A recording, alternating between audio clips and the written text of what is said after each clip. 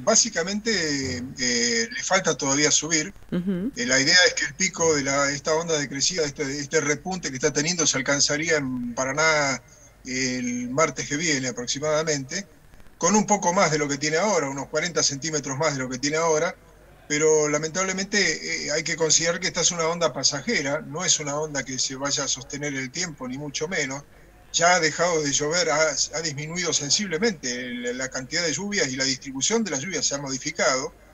Por lo tanto, eh, se iría cumpliendo la tendencia climática que ya de por sí ya era desfavorable antes.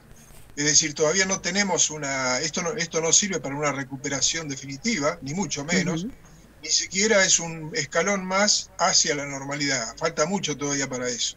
Ya vamos transitando dos años de lo que ha sido esta bajante también histórica ¿no? de nuestro río Paraná.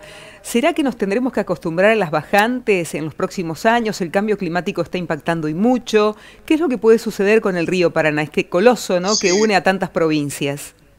En principio, este es el tercer otoño consecutivo con aguas por debajo de lo normal, por, debajo del límite de aguas bajas. Es decir, claramente tres otoños seguidos de aguas bajas con todas las consecuencias que eso tiene para las tomas de agua, para la navegación fluvial, de, para todos los impactos que conocemos bien.